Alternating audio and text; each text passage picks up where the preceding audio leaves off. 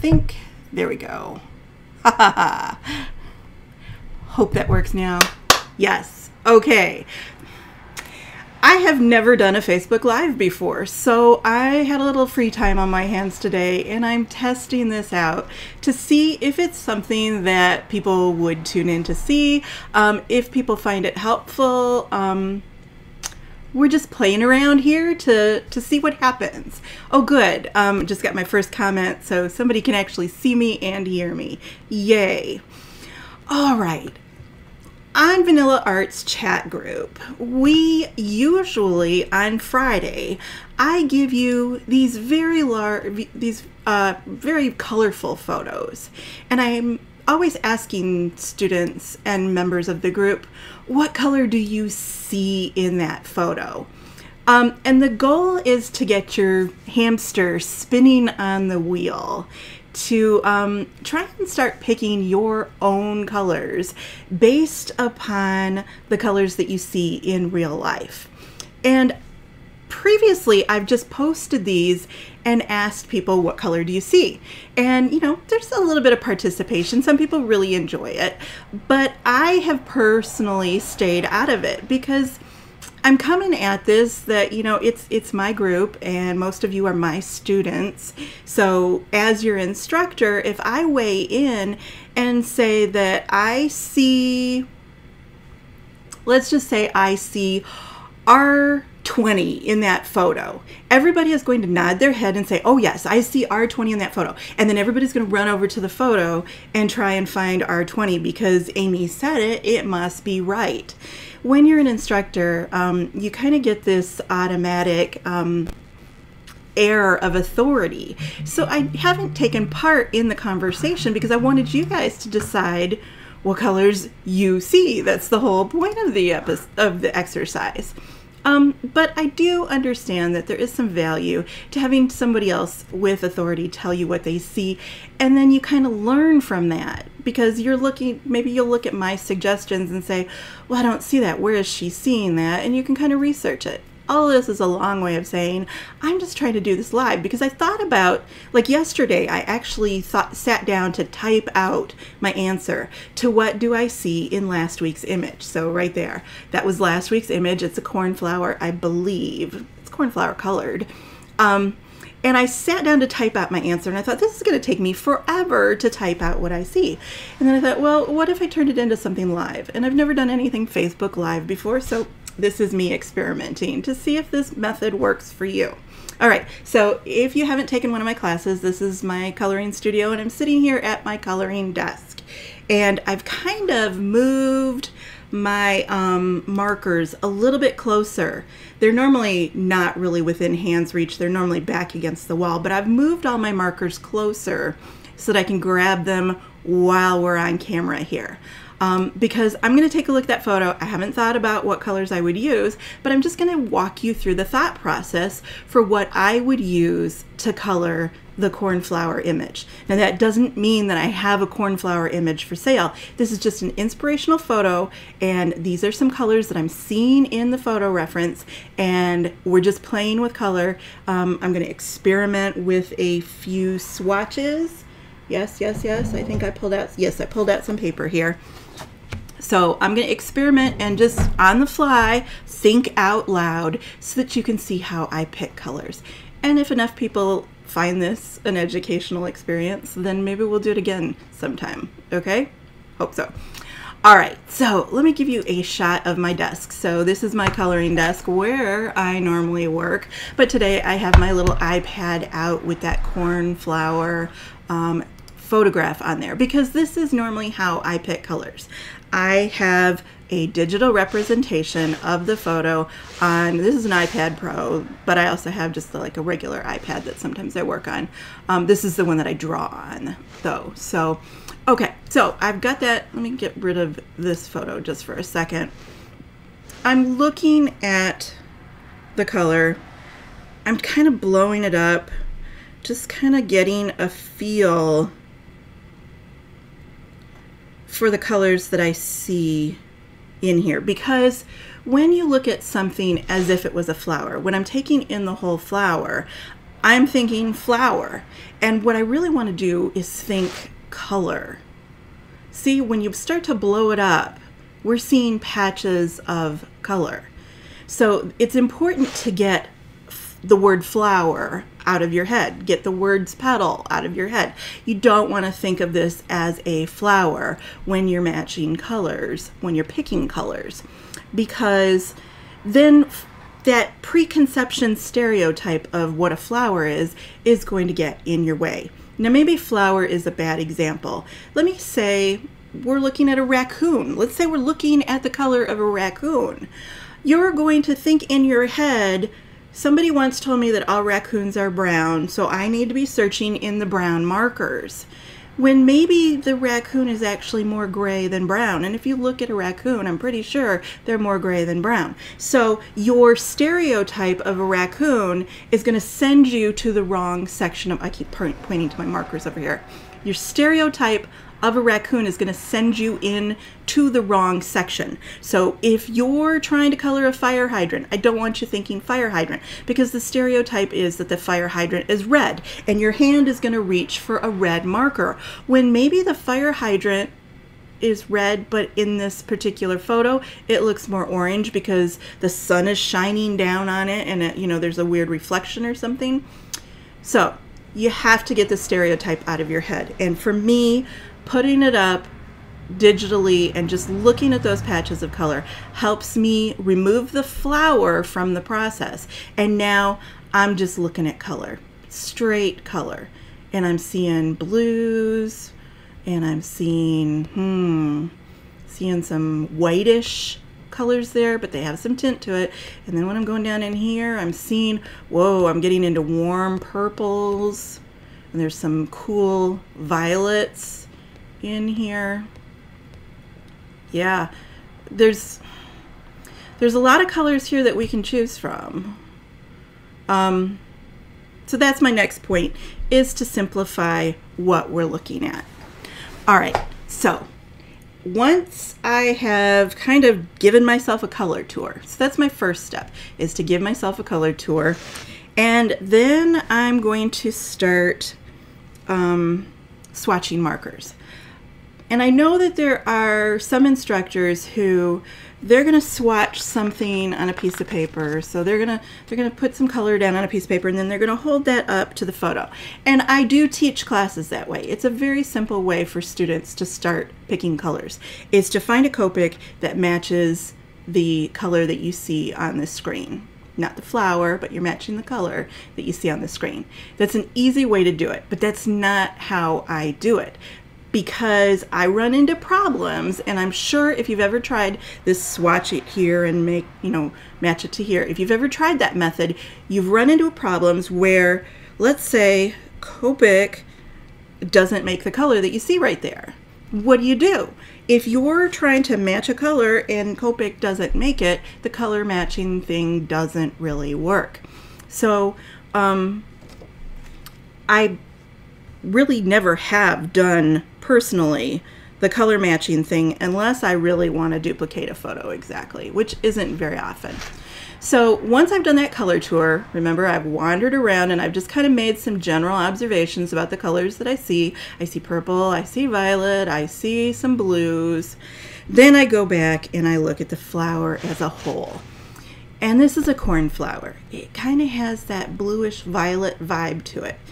And here's where Copic kind of limits us because when I'm looking at my Copic blues and blue violets here, there's not a lot of blue that is shifted into the violet range. So when you say that a color is blue with a shift, that means it's leaning into the next color family. I need a blue that kind of leans in towards violet. And Copic doesn't make a lot of blues that are solidly blue, not violet. If you move over into the BV family, you're getting things that feel far more violet than feel blue. And this flower really does feel blue. I can't shop in the BV section or I'm going to end up with a flower that everybody says, hey, that looks violet. So I got to shop in the blue section, and there's only one family there that gives me that cornflower, periwinkle, kind of is it blue, is it violet, but it's mostly blue feeling, and that's the B60 family. So I'm just going to reach over here with my Copics right to my Copic area, and I'm pulling out the B60 family with the intention that I'm going to swatch these and just kind of see what they look like and see what they feel like. Now, I color, for all of my beginners, I color on X-Press It blending card. Therefore, I am swatching on X-Press It blending card. If this project was going to be on Cryogen, I would be swatching on Cryogen. If the project was on watercolor paper, I would swatch on watercolor paper. It does you absolutely no good to swatch on X-Press It and then move over to watercolor paper or Bristol board or something else because the colors look different on every single kind of paper that you try. So when you're doing this experiment, you need to be swatching on the paper that you intend to work with. So today, let's just say we're swatching on X-Press It for an X-Press It based project. And I've got my B60 family here. So there's that's comprised of B69, B66, B63, and B60. And if you've taken many of my classes, you know we use the heck out of B60. So that's a family that I'm pretty darn used to. Um, and if I'm looking at the marker caps, remember marker caps are not always accurate. Um, so do I really see those colors there? It's, it's close. What I'm seeing up there in the photo feels a little bit more blue and this feels a little more violet, but I know that this is going to have the right general vibe to it. So do I care that that's not an exact match? Not really because I know that if I hit the values correct, if I get my darks dark enough and my lights light enough and I get the darks in the right spot and the lights in the right spot, it's going to look real based on just those values. The color is secondary to that. And I know that's really hard for people that are used to using blending combinations. You're used to um, people telling you this is the matching blending combination. No, you just need the values. You don't need the exact color. All right, so I've pulled these out because it's the vibe that I want, and that's just a general instinct. It's something that's in my heart my soul and my brain kind of thing. It's a gut feeling. It's not what I'm looking at in the photo exactly. I want my flower to have this kind of vibe to it. So let me go ahead. I think I'll start with the light, and I'm just gonna pull off the chisel cap and give myself, that's the B60, Here's the 63. Here's the 66. Big jump there. And then here's the 69. and I can kind of move that over close to my swatch. In real life, I would be moving it over towards my iPad, just kind of comparing back and forth. And these feel more violet, but I really like the colors that are going on there. So that's what I'm going to use. Um, yeah, all right, now, experience teaches you things. And what color is B69 named? Okay, it's called stratospheric blue, but I just happen to know from experience using this color, it's very aquamarine. It just, or not aquamarine, ultraviolet. It has a serious blue vibe to it. And I kind of want, see, as those pe flower petals go towards the center, we're leaning more towards violet and then eventually into purple. So I want to lean into that violet feeling. So I'm not liking how blue the B69 reads. And I just happen to know that B79 is this poor little ignored marker. It doesn't have any friends. There's no natural blending combination for B79. It doesn't have any partners. It's just this color that Copic threw out there and then gave you nothing to use with it. And um, it's actually a nice nice little color. Because it's very close to B69 but it has more of a violet feel to it. So I think I want to use this B69 or B79 in place of the B69 so that's see how this one feels more violet? This one feels more blue and I want to lean into that violet feeling because I know that as those petals get closer to the center of the flower they're going to get darker and deeper and I want something that's going to help me transition more into the purple that's towards the center of that photo. So these are the colors I'm going to be playing with for my swatch. That feels better to me than the 69. So now I want to sit here and see, do these colors blend well with each other? And for that, I'm just going to give it a swatch test where I'm doing my flick stroke. I always color dark to light. So I'm doing my flick stroke and I'm going over the top of those colors and slightly beyond. And I'm just doing this. This is a standard test that I do with a lot of my markers before I start to color. And what I'm noticing is that when I swatch these out, they're not like auto blending. So I can already tell that this combination is going to give me some trouble. It's the right color, but it may not be a great combination for beginners because when I swatched that out, it didn't auto blend on me. There are a lot of blue combinations that when I swatch them out, just going over the top of it with the next lightest marker, it's going to automatically blend and you're going to get a seamless gradient with very little work. This one, I'm obviously going to have to come back and give this another shot to try and get that gradation from the 79 to the 69 and then I've always known I just know from experience that 66 into 63 is not the most comfortable blend either. The 63 into 60 is actually a good blend. Those those two will blend on their own. But I just know that this one is going to need a little bit more ink to make the blend happen. You can kind of see how it's starting to happen right up there now, but I had to kind of work with it and give it a few shots of ink to get it to work.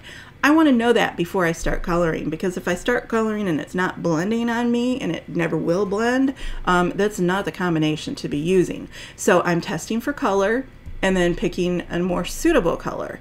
Then I'm testing the run, and this is a color run. I'm testing that run to make sure that they're going to blend and how easily they will blend and whether I'm going to have to nurse it. Now, I'm not scared of that, but I would not recommend it for beginners. I kind of like it though. I think it's going to work. All right, so this might be my blending combination, except the problem is, is that when you get deep down into those petals, the colors at the base where that blue petal comes out from the purple center, the color that you see in there, most people would call that shade. Uh, we can debate the definition of shade. That's not really an accurate term that colors use. An artist would not call that shade in there.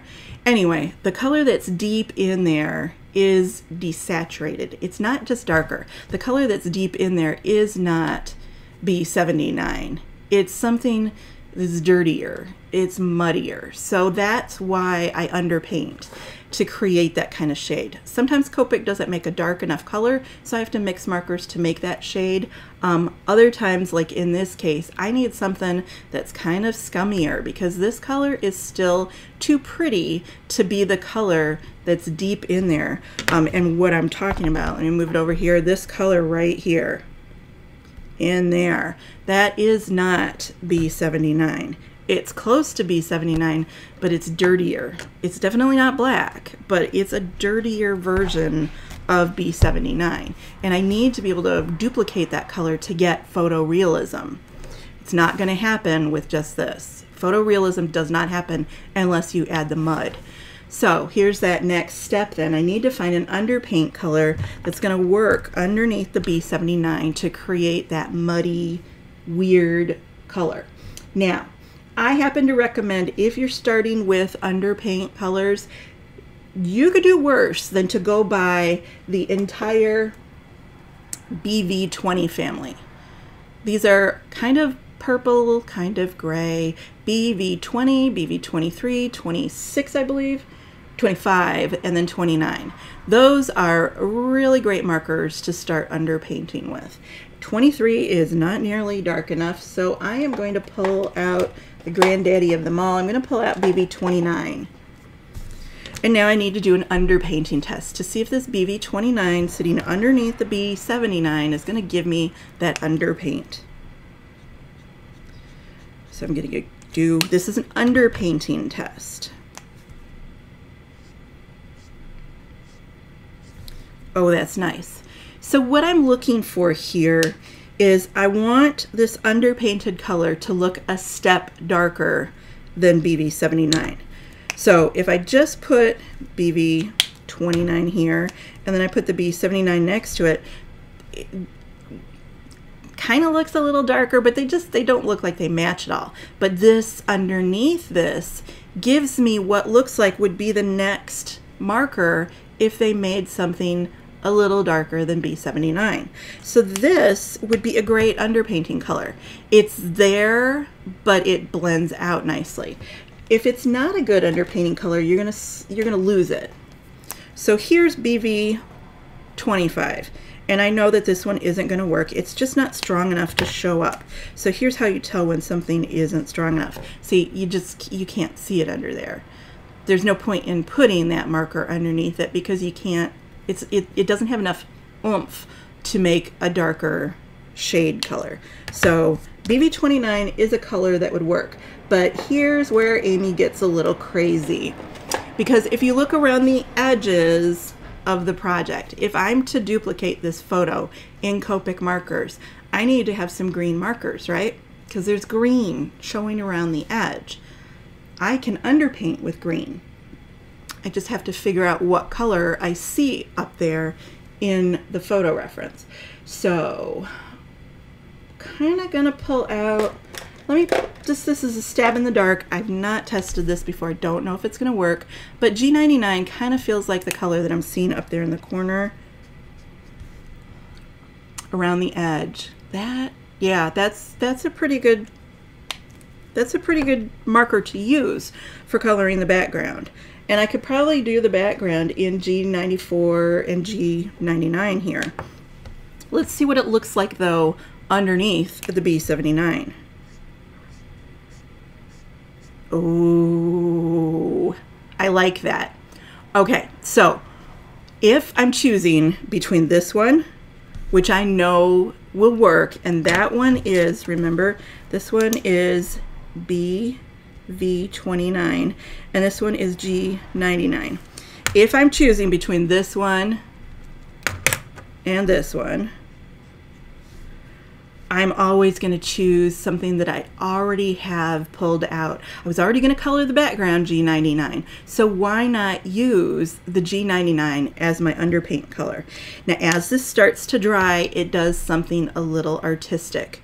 Okay, and I don't think, I'm looking at it on camera right now, and I don't think you're fully getting what's happening here in real life. So those of you that are at home that want to test this, go ahead and pull out G99 and put some B79 over the top of it.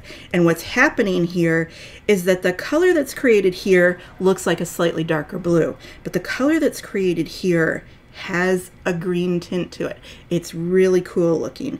And that I think is going to be perfect for these dark recesses here where the color is deep and we don't really have a name for that color, but I think I can use this G99 under the B79 for this area and I might be able to use G94 for some of the shady areas under there.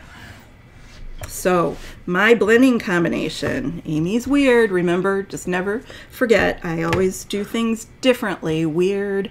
That's just how my brain starts to work after a while working with color my blending combination for the period or for the cornflower up there is G99, B79 because it has a violet tint to it, B66 as my middle, B63 gets me that lighter tone and if I need highlights, which I see a few highlights in there, the highlights are not white, they are B60.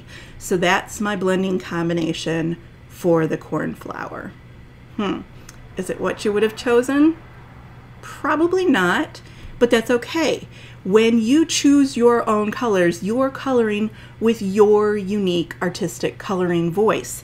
This is my voice. This is the Amy coming out in my project.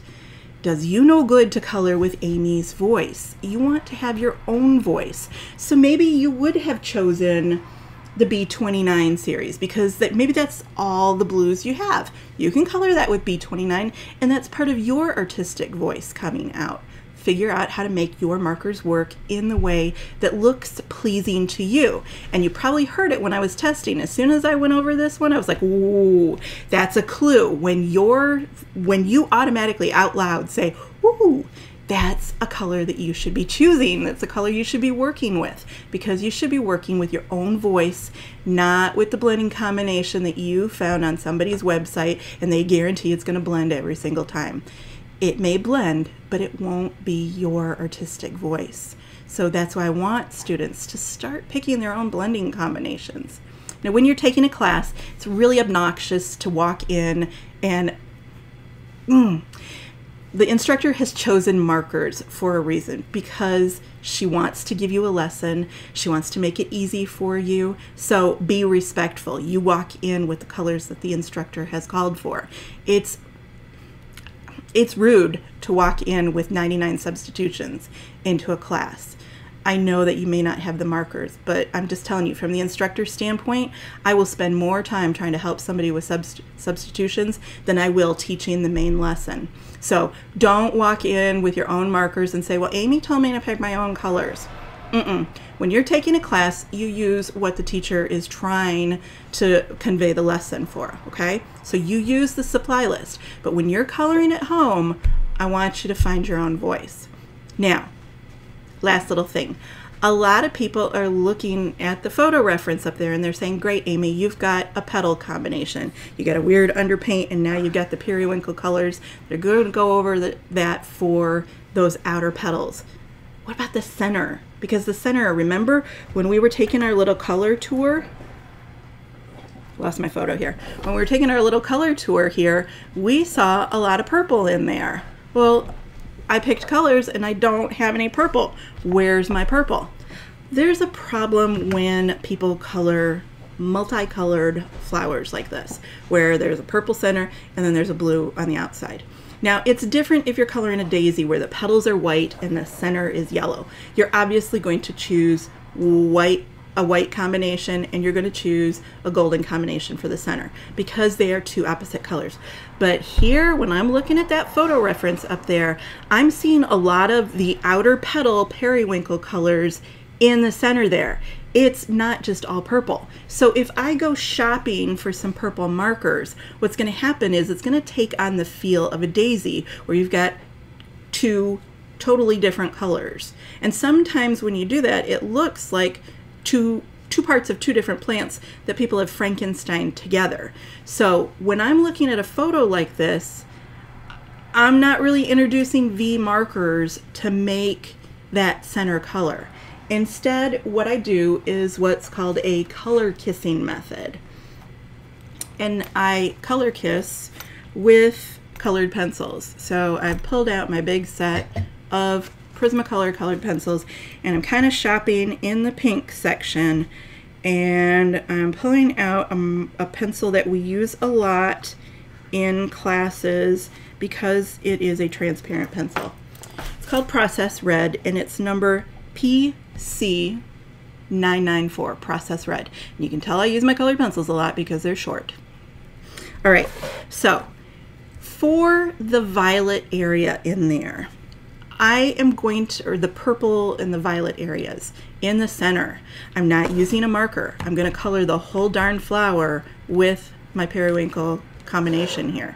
And then I'm coming back with this process red colored pencil and I'm holding it far away so that I'm very light pressure. And in those center sections, I'm going to do an overpaint of this magenta color. And when I put process red, because it's a transparent colored pencil, over the top of, this was B, this was B63 there, this is B60 here, this was B66, and this was B79. Whoops, that's a 9. Okay, so when I put that magenta pencil, or I'm sorry, process red pencil, it's magenta colored, but the color name is process red. When I put this over each one of these colors at a very light pressure, I'm getting that purpley vibe.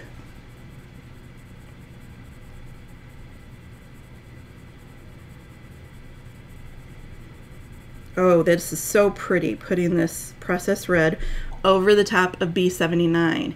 It's kind of got this weird glow to it that It's almost not even showing up on camera. It's kind of there, but in person, wow, this is just gorgeous. So the center of the flower is going to be colored with my blending combination, same thing as the petals on the outside, but I'm going to do kisses of color. So each one of those little stameny things in the image is going to get hits, just little gentle kisses on the points of this magenta transparent pencil called Process Red. The reason why I keep correcting myself is because it's in the magenta family, so I want you to think magenta. So if you're using something like a Holbein pencil, you're shopping not for the color, or I mean not for the color name, but for the actual color. So you need to be in the magenta family. And I have to be careful because Prismacolor actually makes a pencil called magenta that I don't really like very much. The Process Red is really more of a true magenta than the actual magenta pencil is.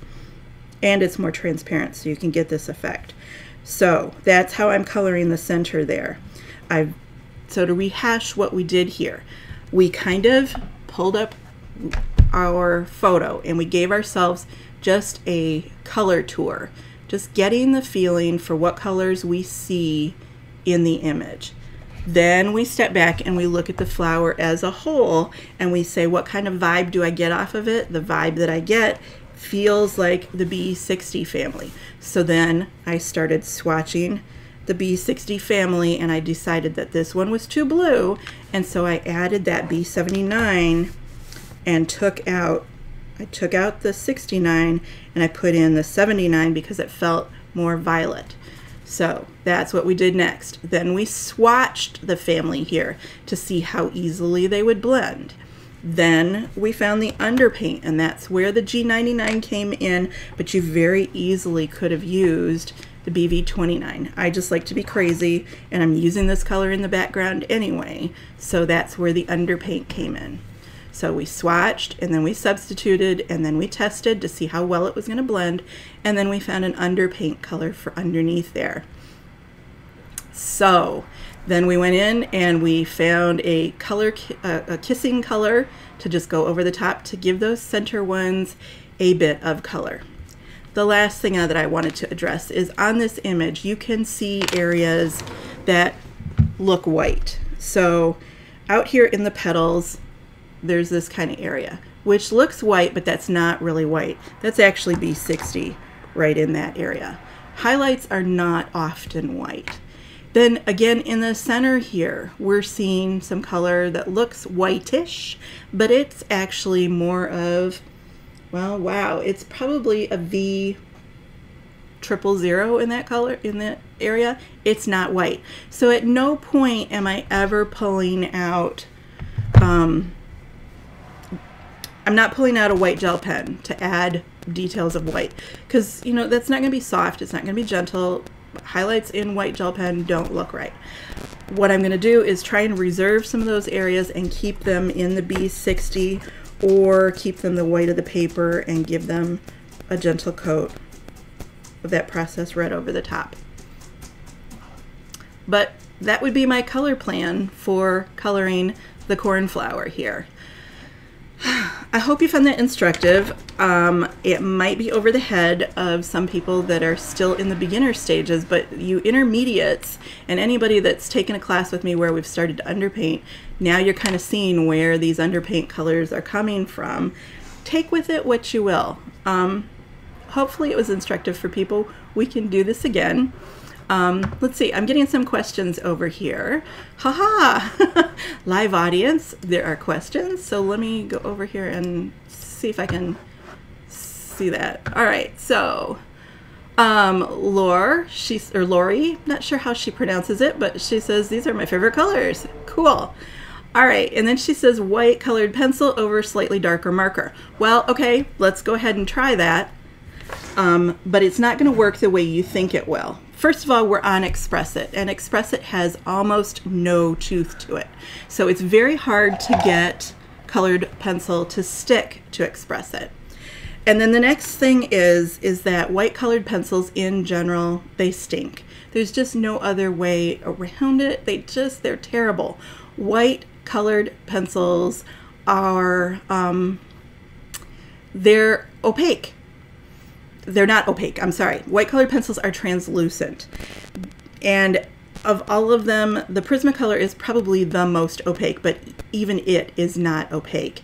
It is still rather translucent. So if I'm going white over the top of that B79, if I'm going white over the top of the G99, if I'm going white over the top of the 69, I am not going to be able to build up enough color to create the value that I see in those highlights.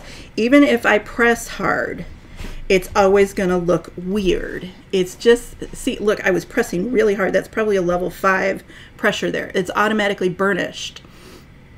So it's not strong enough. Once you put down color, you can't really resurrect to that level. So it's, it's not going to help.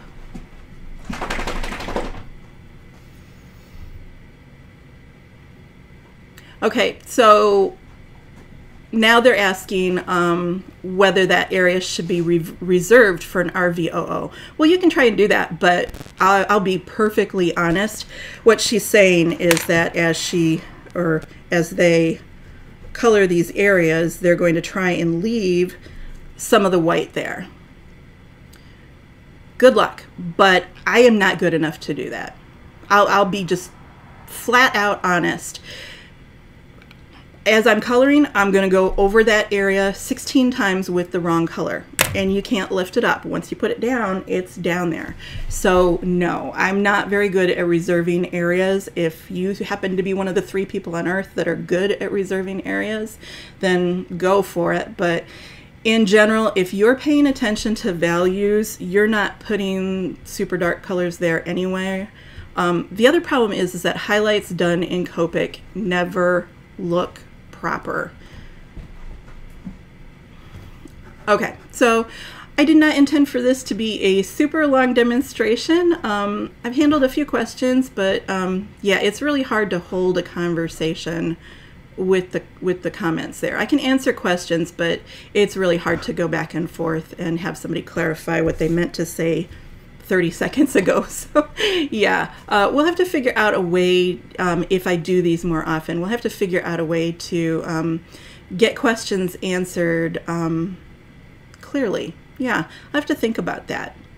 Okay, so I am about to head out on vacation for the month of August. August is my month off, so you won't see me on the forums. Um, probably won't see me on Facebook either because I really do try to unplug.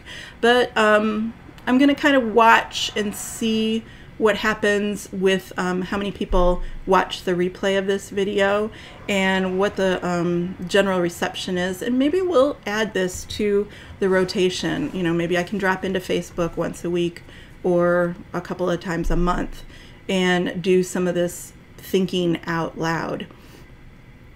So, um, cool. All right, so that's the cornflower um, thinking process. Um, I hope it was beneficial. Let me know what you think in the comments, whether this is something that, um, whether I rambled on too much or um, whether I should start talking more about something else that you need to know about. Um, I'm open to suggestions on what we do with this, but it was a fun experiment. All right, uh, have a great day, everybody. Thanks for watching, and I will see you on the forums definitely in September. Okay, bye.